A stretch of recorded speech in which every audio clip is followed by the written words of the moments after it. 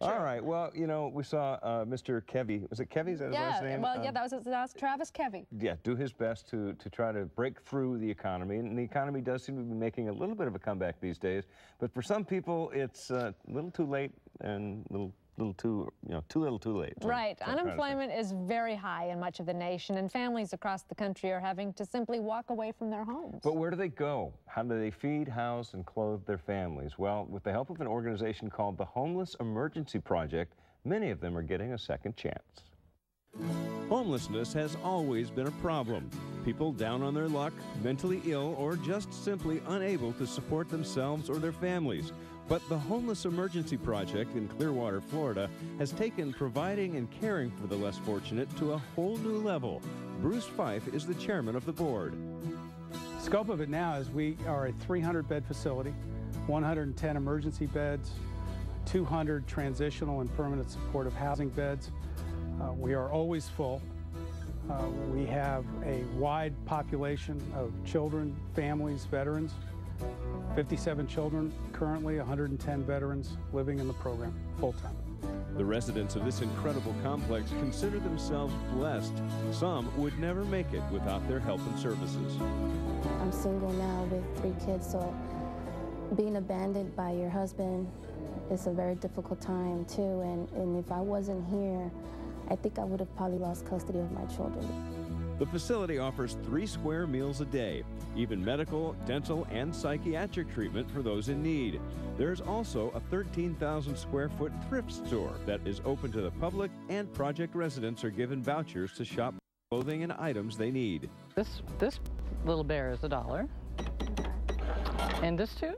The store is run by this very dedicated and unselfish woman. Her name is Mary Shaw.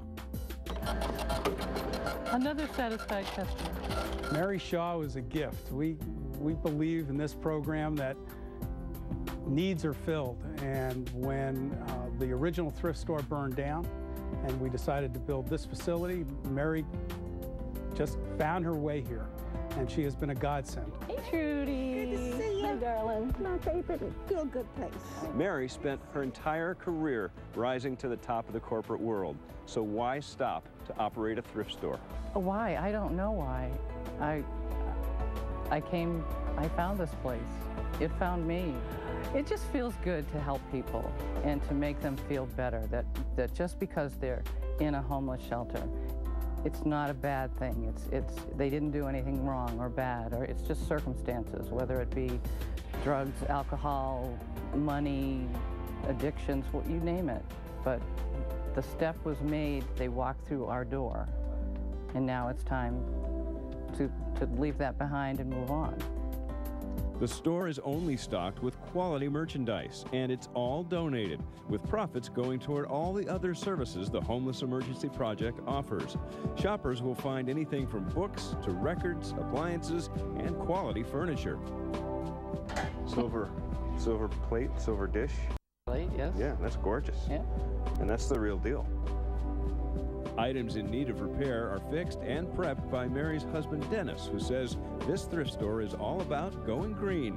What can't be restored is recycled in order that they might obtain a green official certification. We um, recycle books, we recycle clothing, we recycle um, metal, we recycle glass, uh, we recycle anything that we can think of that, that can be reused instead of thrown into a landfill. According to Mary, they have all types of plans for the future, which maybe include putting some of the more pricier items up on eBay. One of those special items could be considered this 10-volume set of the works of Edgar Allan Poe, published back in 1904. For Mary, Dennis, and all the volunteers who put in their time here, perhaps this poetic collaboration between Dennis and Mary best sums up what their work is all about. A wonderful day. Let me do some good today. Let me have something positive to say. Let me support another along the way. Then I've had a wonderful day. Let me erase a wrong. Let comfort and make another strong. Let me add joy with a smile and a song. Then I've had a wonderful day.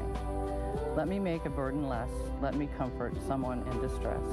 Let me spread some happiness. Then I've had a wonderful day.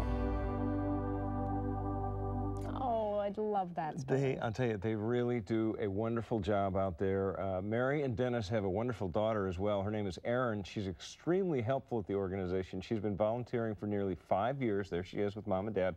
And uh, this past April, she was recognized as Volunteer of the Year. So congratulations to to her. And by the way, if you would like to donate uh, items or your time, they're always looking for help. You can give them a call at 727 442 9041 or just go to our website, daytimeonline.tv. We'll put you in touch. Very nice. Yes. Thank you. Thank you for having us out there. We appreciate it. Coming up, Harry